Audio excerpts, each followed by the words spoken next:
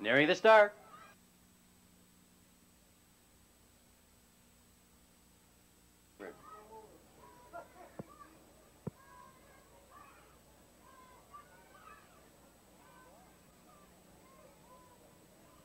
They're off.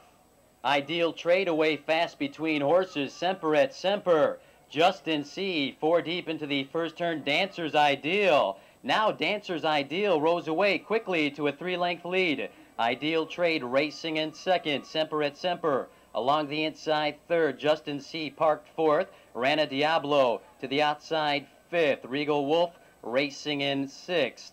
Two lengths back, Earthquake Jake in seventh. Nedsbit out there eighth. Fox Valley Snake in ninth, Son of a Wolf tenth.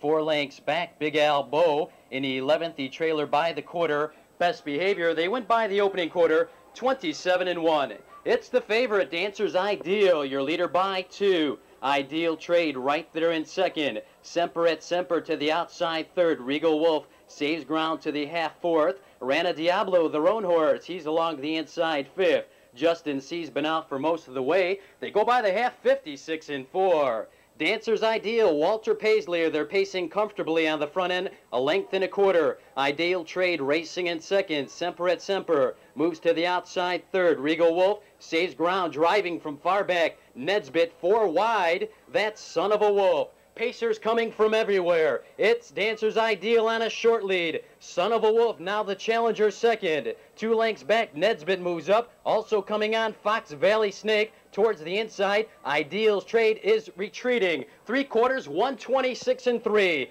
Around the turn, Dancer's Ideal, three parts of a length. Son of a Wolf, another move in second. To the outside, Fox Valley Snake comes on. Further out, Regal Wolf is charging. Inside the furlong marker, Dancer's Ideal on a short lead. Regal Wolf is flying. Regal Wolf draws away quickly now. Three, four to the wire. Fox Valley Snake, late move. Earthquake Jake. Regal Wolf in front. Earthquake Jake second. Close for third.